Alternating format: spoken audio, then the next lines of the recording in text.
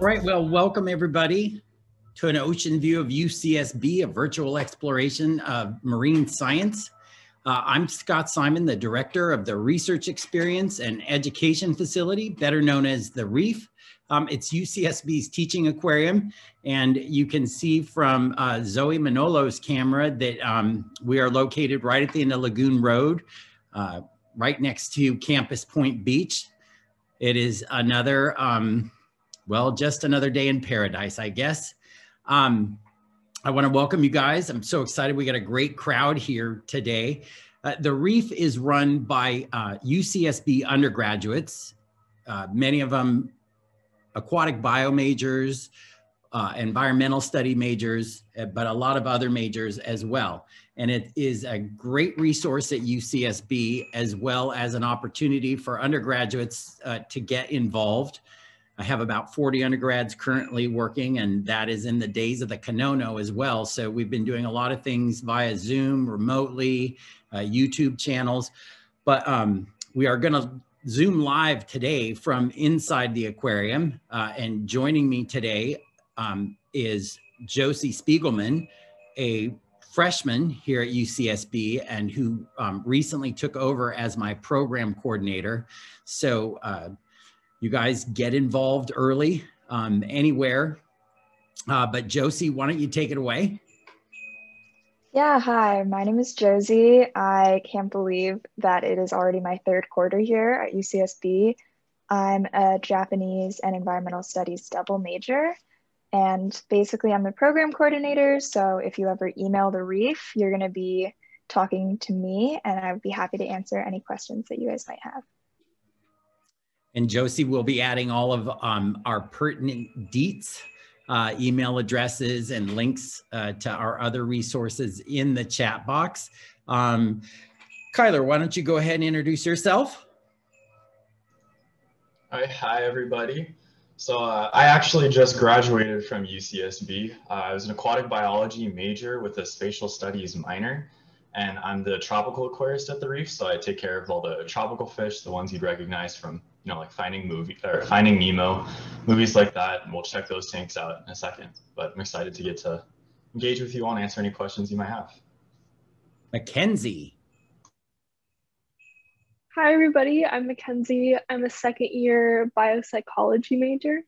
Um, and I've been working at the reef for about two quarters now. The coronavirus kind of put a stop in when I was originally hired, but it's been a lot of fun. And yeah. All right. And Jordan. Hello, everybody. I am Jordan. I'm a first year at UCSB studying uh, biology with an education minor. Um, and this is my third quarter at UCSB, my first quarter uh, here at the Reef. I'm super excited excited. If you have any further questions for me, you can always reach out on Instagram. Very cool. And David Wenzel. Hi guys, my name is David Wenzel and I'm a fourth year environmental studies major here at UCSB.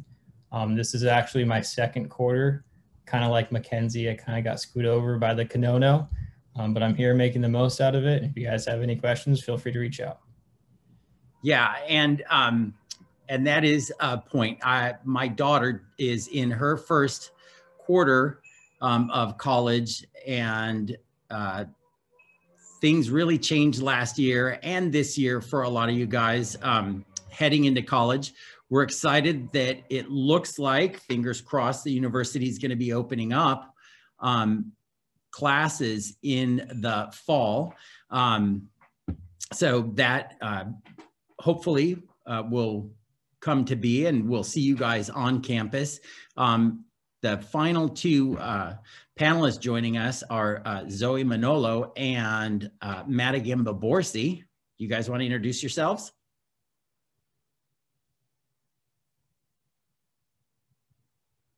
Go ahead and unmute your mic. hi guys. Hi guys.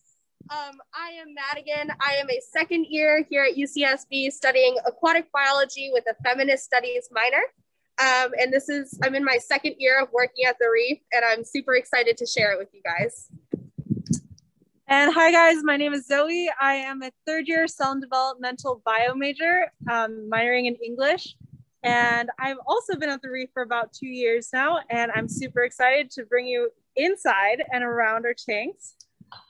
So, so we have, been, we have been very fortunate um, that the university values the reef so much um, that I have been uh, able to bring five undergraduates onto campus. Uh, they are my aquarists. Kyler is one of them as well. Um, Zoe and Madigan are also aquarists. So they help take care of the fish and the tanks and the systems. Um, and I should just stop talking and we should just head on into the reef. Again, I want to thank you guys for coming. I'm going to bounce out and turn it over to these guys because they're a lot cooler and funner than I am. Um, so if you've committed to UCSB, congratulations, welcome. I am also uh, a gaucho. I went to UCSB and I was a transfer student. Um, so there's a special place in my heart and the reef uh, for transfer students as well. So um, sit back, enjoy the ride, ask lots of questions. And if you haven't committed, um, by the end of this. I'm sure that you will. Uh, so everybody take care, have a great weekend, um, and I look forward to seeing you guys in the fall.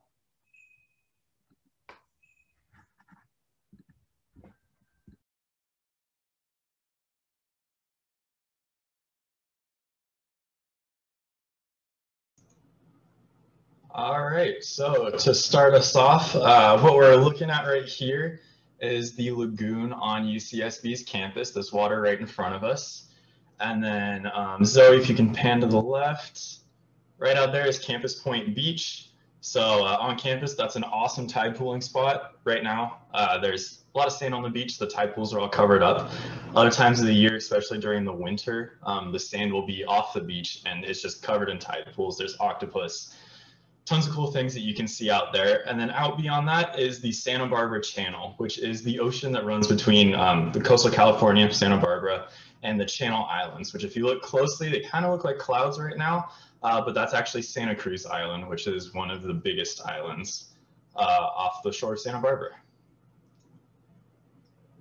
And then can head on into the reef.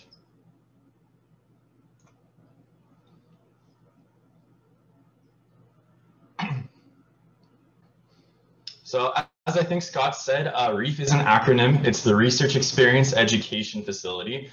So uh, we're involved in doing a lot of the outreach for the research that occurs on campus. And we do lots of education things with different schools in the areas, uh, elementary schools, middle, high school, and uh, other groups that come in just to come learn about marine science uh, in the reef. And so there's two really cool research programs that we're uh, overwhelmingly, overwhelmingly involved with, one of which is the SBC LTER, the Santa Barbara Coastal Long-Term Ecological Research Program. And uh, they're interested in looking at long-term patterns in the Santa Barbara Channel, so the oceans off Santa Barbara, uh, and the different ecological things that are happening with those patterns. So something that they're super interested in, which you'll see in this tank right in front of us, is kelp and the distributions and abundances of kelp in the channel.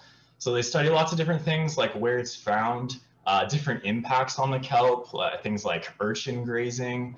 Uh, they found that uh, waves have a really big impact on where you can actually find kelp. Like the waves crashing on the shore actually destroys a lot of it and determines where it's actually found out in the channel.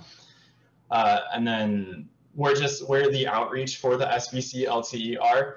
So uh, we get to teach about all the cool research that they do with things like the kelp, uh, other animals like uh, the California spiny lobster. They do a lot of research on the fisheries for those.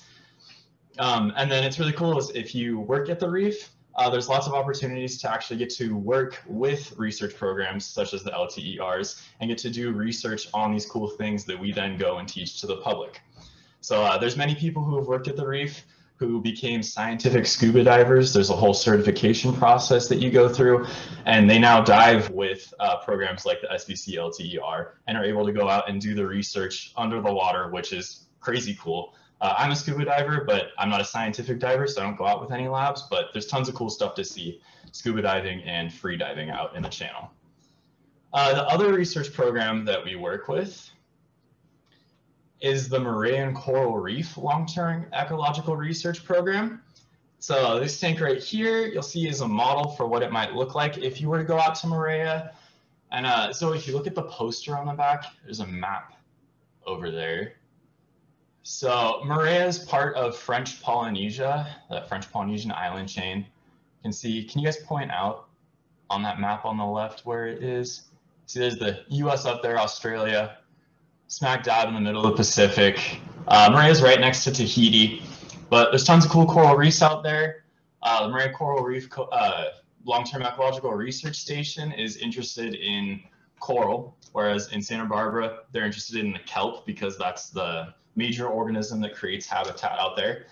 But uh, they're just like the SBC LTER interested in changes in coral around this island over time and uh, different impacts on the corals. So they've tracked things like how hurricanes have affected uh, distribution of coral around the islands. Um, there's been breakouts in tropical oceans of uh, a sea star called the crown of thorns sea star and those guys love to eat coral so they've tracked how those have impacted coral over time uh, and just like with the SBC LTER, we also do the outreach for the MCR LTER. So we have these cool tropical tanks, which are what Maddie and I take care of that uh, showcase some of the cool organisms that you can find out if you were to go to Moorea.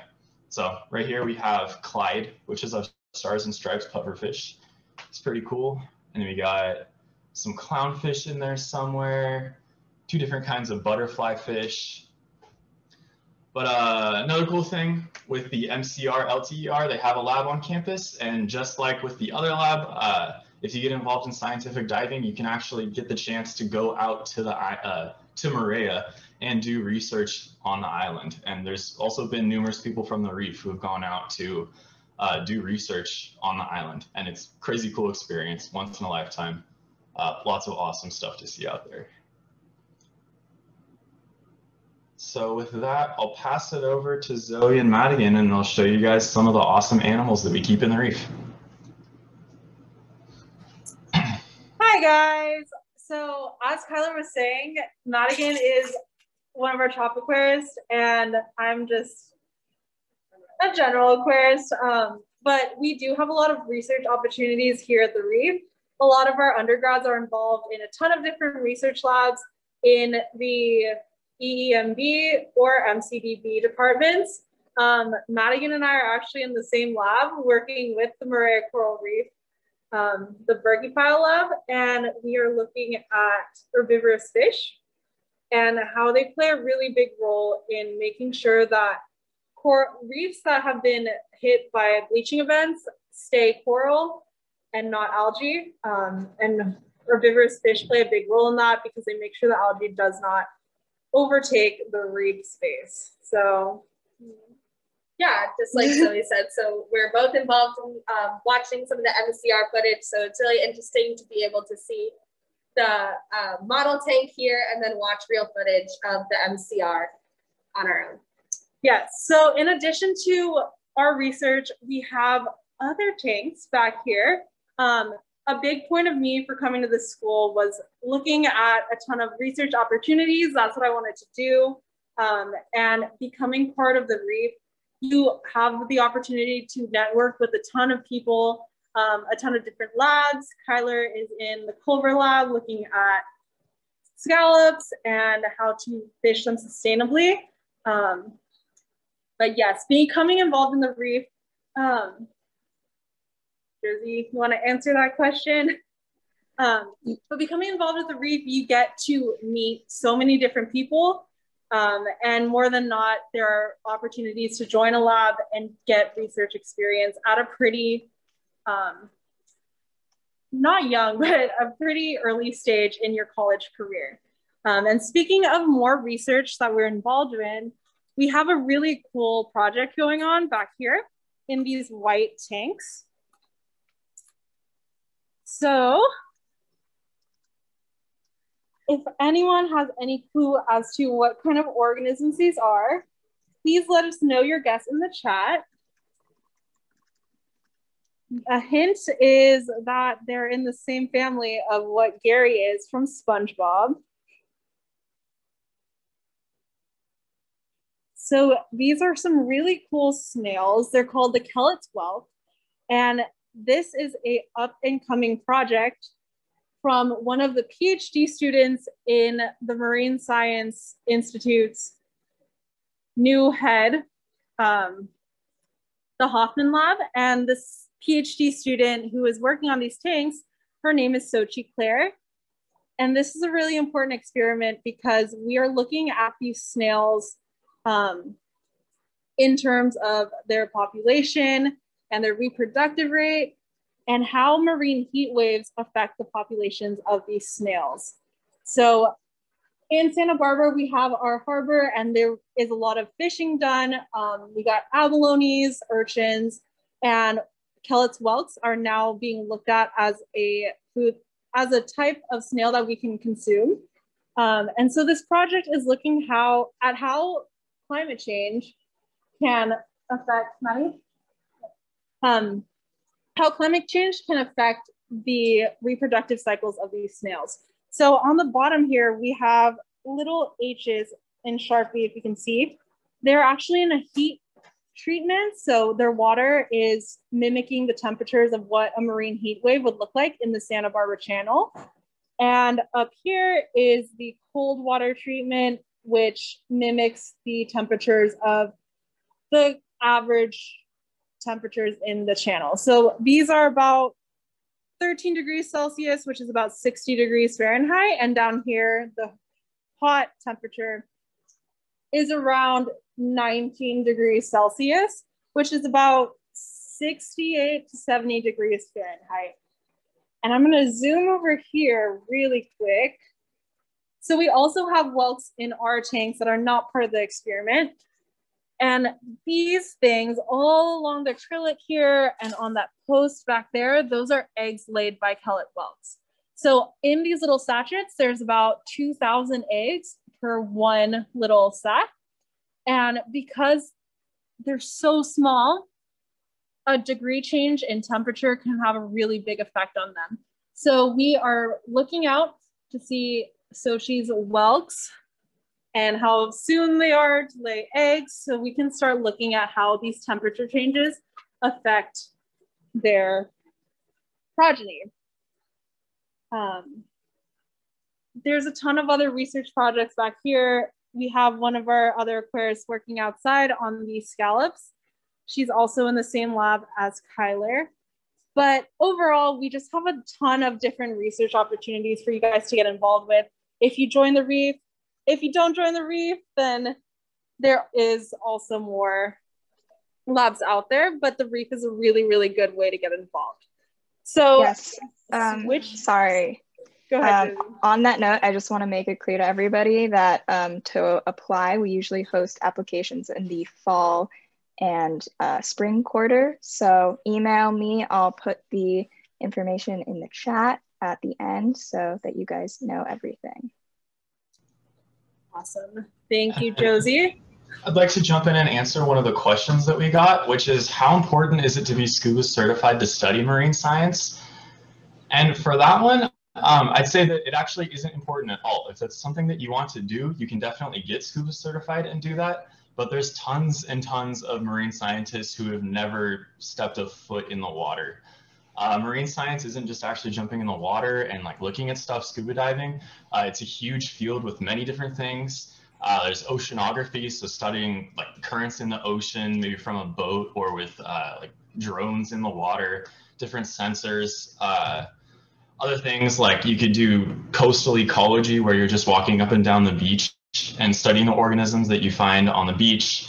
Uh, like the lab that I work in, we work with scallops. So we just have tanks that we have set up on campus where we grow our scallops in the tanks and do different things with them. And uh, that's another cool thing about UCSB is there's lots of research that happens on campus because we actually have huge pumps that pump uh, salt water from the ocean onto campus. So there's a few different buildings on campus that have saltwater tanks inside that are getting fresh ocean water, where instead of having to go out into the ocean and do experiments, they can all be done in the building in a lab. So you definitely don't need to be scuba certified, but it's a really cool thing to do if you do want to do that. Um, and to answer the second question that we got, uh, do you have have we all taken marine science classes before entering college? Uh, not everyone here has taken or have has had experience in marine science. Like um, I going into UCSB didn't have any experience, but what I love about UCSB is that I can just um, I feel like I can just walk into or take any class that I want to or that I'm interested in, like uh, whether it's band or marine science experience, um, freehand experience is not always uh, necessary. Okay, thank you guys for answering those questions. Um, we are gonna jump into looking at some fun creatures we have at the reef and then save our Q&A for like the last 10 to 15 minutes. So Madigan here is standing in front of one of our touch tanks. And we have a ton of really cool creatures in here. You want to pick one up?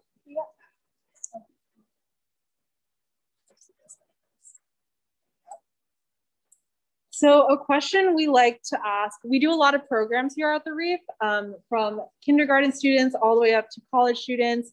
Um, we also have open door programs where we are open to the public, but we always like to ask the question as to what is this? and if they say a starfish, if this is considered a fish or not.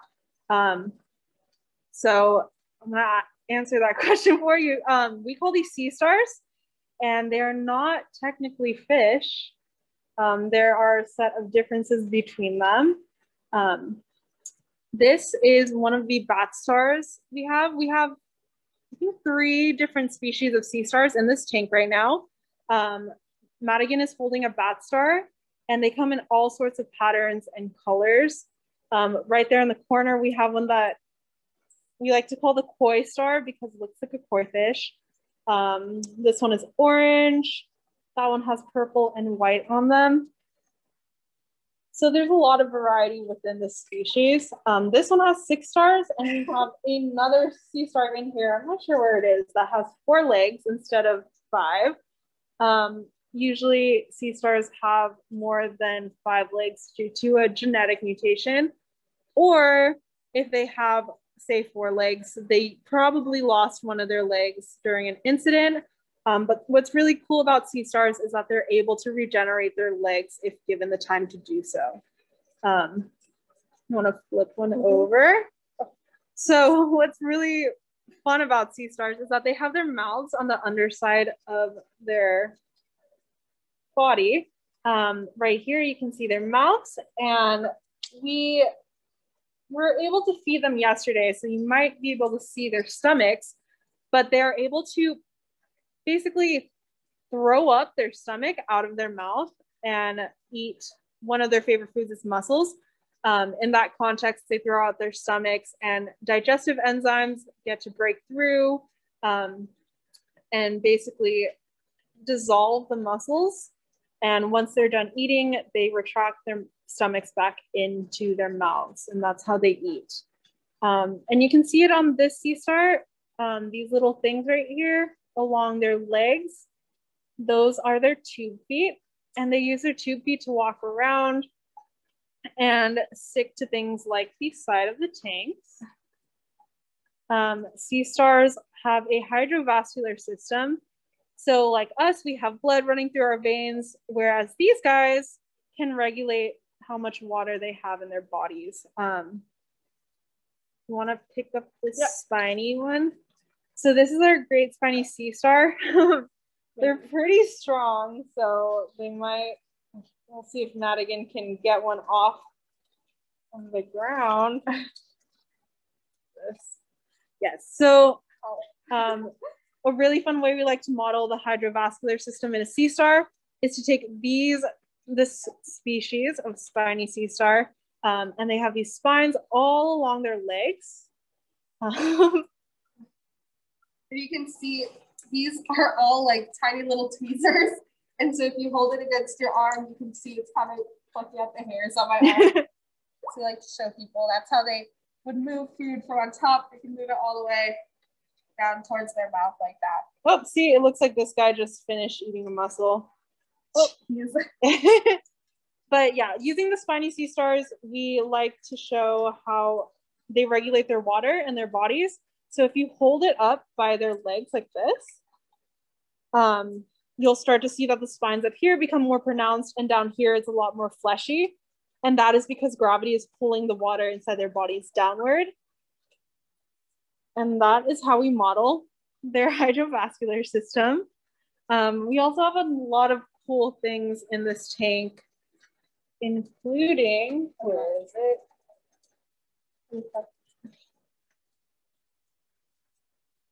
A red sea urchin. We have two species of sea urchin at the reef, uh, purple and red. Um, like sea stars, they have tube feet as well within their spines. Um, and you can see their spines are moving towards her finger right now. And they also have their mouths on the underside of their stomach, right here. Um, and they are voracious kelp eaters. So what's really important about sea urchins is that if their populations get too big in kelp forests, they can basically devastate a forest in a matter of time. Um, so it is really important to keep their populations in check so we can keep our kelp forest off the channel healthy. Um, and over here, he's not happy. we have a sea cucumber. Um, a fun fact about these guys is that when a predator comes to try to attack them, they're able to throw up their innards and shoot themselves away. And like sea stars, they're able to regenerate all their guts, which is a little gnarly, but evolution. um, this one is pretty stressed right now. You can tell because it's pretty like tense. Um, usually they're more gelatinous. gelatinous. um, but yes. So this is our tank of sea stars. We will move over here. Oh, perfect example of how a lobster swims. We have a couple of spiny, California spiny lobsters in the reef. I'll swing downwards in a moment to show you one of our superstars. Oh, right here we have a smaller spiny lobster. Um, they're called spiny lobsters because they have tail or spines on their tails, right here, all along their tails. And as you were, yep, all on their carapace. Um, and as you can see by its flicking its tail, that's their mechanism for swimming. So if you saw earlier, one of the lobsters was pretty unhappy that it was being held and swam away backwards. And speaking of spiny lobsters, we have one of the most beautiful creatures I have ever seen in my life. This is Boris. He is our resident giant spiny lobster, um, currently hiding in his cave. But to give you an idea about how big he is, I'm gonna take you guys over here. So lobsters are, they don't have a spine like us. They're um, not vertebrates. They have an exoskeleton and are able to molt once a year. So this is Boris's latest molt. Um, I'll place my hand next to it. It's pretty large. Yeah. Um, this is also one of our bigger spiny lobsters, but it can't even compare to how giant Boris is. Um, usually I would ask some quick math questions. The carapace grows at least one eighth of an inch every time they molt. And since we've measured his mold, it's about 10 inches. And if you're able to do some quick math, you'll be able to figure out that Boris is actually about 80 years old. So he's been around for quite a while now. Um, and yeah, we inherited him from, I think, a study that was looking at how like lobster vitality and how long they can live for. Um, essentially, lobsters can live for a very, very long time. It's just that in the wild, their molts can get really, really heavy and slow them down to the point where they can't get food as easily as they could beforehand. Um, switching gears to some other awesome animals. In this tank, we have some baby sharks right there. And then we have two over here by the whelk eggs. Um, Madigan, you want to tell us about these sharks? Sure. So these guys are swell sharks. Um, I actually wrote a paper on them last year during my first year in oceanography, which was super fun. Because I actually got to write a paper about something I cared about in life in high school. Uh, but swell sharks are called that because in order to stay put in the current or to avoid predators, they'll wedge themselves between rocks and then swallow up a whole bunch of water so that they swell up and they get stuck in a crevice, which is super awesome. And if you take a look at the patterns, you can kind of see uh, what actually happens is under a black light or a UV light, all those lighter patches glow green. And each shark has its own pattern, which is distinct, kind of like a fingerprint. Um, but that was one of the recent discoveries about swell sharks and what I wrote my paper about was their patterns in UV light. And we have a couple of bigger swell sharks in here. see. And then if you take a look right here, you can see what you might, if you found them on the beach, they might have been brown or dried up. What people might call mermaid purses are swell shark eggs. And they have these tendrils that they stay together and wrapped around kelp so they don't blow away in the current as well. You can kind of see where the yolk is in there, the lighting's right. Uh, so those are swell shark eggs. And then we also have two. Oh, oh.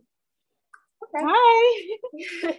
we also have two horn sharks in here, which are called because they have two tiny little, what look like thorns or horns right in front of each of their dorsal fins, which is a really cool aspect of those. This guy's showing off. Wow. it's not feeding day. Yeah, so the swell sharks get really excited when it's feeding day and they usually swim up at the top of the water like this.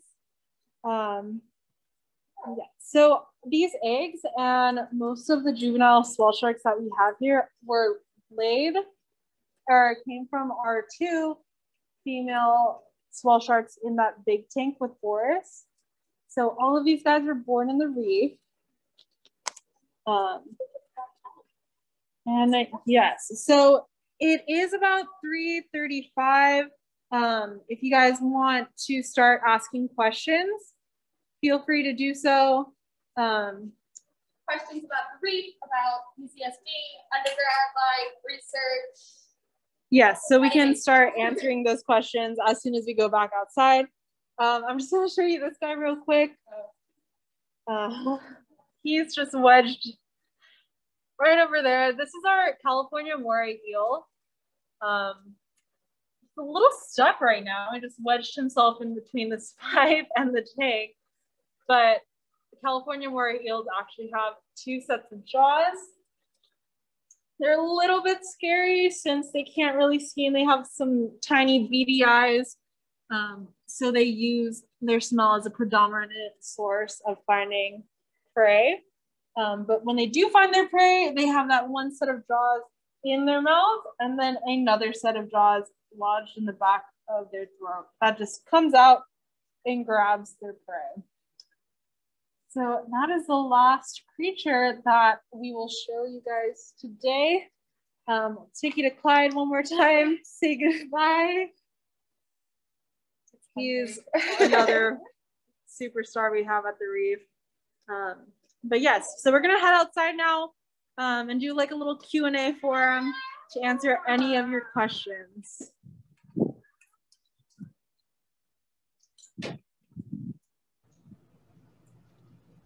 Yeah, so Alyssa asks, uh, how difficult would you say it is to transfer into the aquatic bio major, I believe?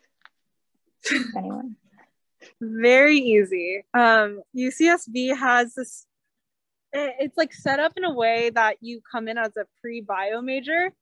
So you're taking like chemistry classes, like intro chemistry classes, intro bio classes for the first two years. And once you complete those classes, you're able to declare your major. Um, so did you, have you declared it? No, I will be declaring at the end of this quarter. So yeah, you get about two full years ish of intro classes that all bio majors pretty much have to go through. And you can start taking some aquatic bio classes before that, but not a ton. And then you declare pretty much towards the end of your second year. So it's pretty easy to take care of if you do the bio requirements. Yes. Um, and if you decide you don't want or you don't like what major you intended on going into, um, I came in here looking to be an aquatic bio major and then last minute switched to cell and developmental. Um, it's really easy to change your major once you're in the pre-major. All right, and then Oliver also asks, what is your guys' best memory at the reef? And I feel that one of you would be better equipped to answer this. Tyler, what about yeah, Tyler? Tyler? Yes, I am the old man of the reef. I've been working here for four years, so I have many things to pull from. But uh, I'd say my favorite memory, um, we also do stuff during the summer. And so, what, two summers ago now, uh, we do this trip where we take a bunch of middle school students out on dive boats, like the boats that go out for, with scuba divers. Uh, we took them out to the islands and then taught them about marine science out at the Channel Islands. So it was super cool because I got to teach how to do fish surveys. So I take a bunch of 12 year olds into the ocean, we'd swim from the boat to the island and then snorkel and just count fish all day. And crazy cool experience. It was awesome. Uh, yeah, so that's another cool thing you can do at the reef is during the summers, there's lots of um, really fun things that we do on campus and in the local area where you get to go and just explore and do fun things with uh, kids. Um, I don't think we have anyone that can beat that. Madigan, do you have any off the top of your head? Any favorite memories? Um, I like when I tell my friends to come in. You know, Friday afternoons, Saturdays, typically we have open doors, so we're open to the public. So I like to tell my friends to come and visit me at work, and I get to show off all my knowledge and basically do what we did here today, but with my friends, and they get to you know, when there's not coronavirus, they can come in and pick up all those animals that I was showing you guys and all those critters. So that was really fun for me last year. Yeah. Um, off the top of my head, I don't. I like doing programs a lot. Um, we did last year before the whole pandemic started. We would work with the local elementary school here in Goleta. Um, it's like a reading writing program and we would have like little stations and teach them about fishing in the harbor and really cool animals that we'd find out in the channel. Um, also going tide pooling with them, it's really fun. So that would be mine. All right, and then Jody asks, how competitive are the marine science programs here? Kyler, do you have an answer? So for that, I'd say that um, for EEMB especially, uh, there is not a competitive atmosphere in classes or to get into the major or any sort of thing. It's actually really collaborative between people in classes. Uh, everyone's usually pretty down to help each other in those classes, help with studying. There's no like, oh no, you can't have my notes because I need to get a better grade than you. Like everyone's really helpful towards each other and there, there's not a competitive atmosphere at all within the ecology departments. And then I saw that um, Alyssa had a second part to her question. It was, do you think there are many opportunities presented to prepare you for after graduating? And I would say yes, because the upper division classes, uh, a lot of them have labs and the labs are super helpful where they give you um, experience doing different sorts of things with science, both in the lab and the field, like learning how to measure certain things, uh, skills for like scientific writing, all those sorts of things. So the labs, especially um, for upper division classes, give you tons of actual experience that is experience you could put on a resume. And I've actually used in interviews, talking about things I've done in classes that would be relevant for jobs that I've been looking at.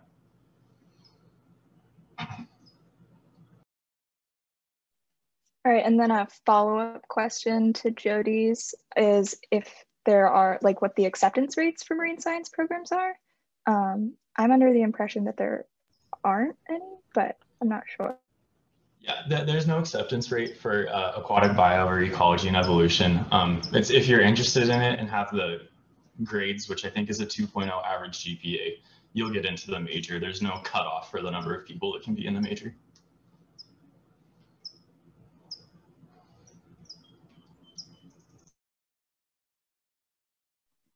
All right, well, that looks like all of the open questions. Um, we have a couple more minutes if anybody else wants to ask anything. We're here.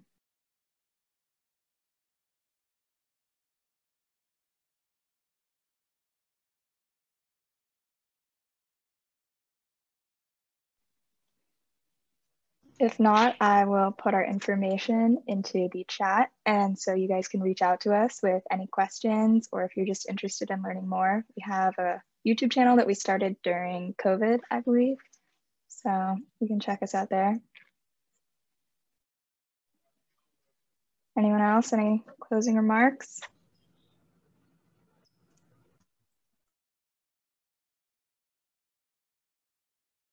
Oh, Allison asks if there are any cool study abroad places that you guys would remember. recommend. Go ahead.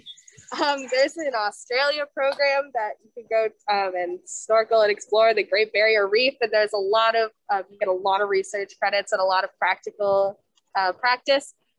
Um, I have not gone. I have friends who are going. I wish I could go, uh, but yes, it's something that I've definitely looked into. You should definitely look it up. It's super cool and it looks like a really good time. Yeah, in addition to the Australia one, there's also some in New Zealand, I think some in Latin America. Um, and there are also programs like Kyler mentioned at the beginning of this webinar. Um, you can join your labs and even go to Moorea and do some really cool scientific diving there or if not scientific diving, just um, research on the island. So there's a lot of really cool opportunities in this department for studying abroad.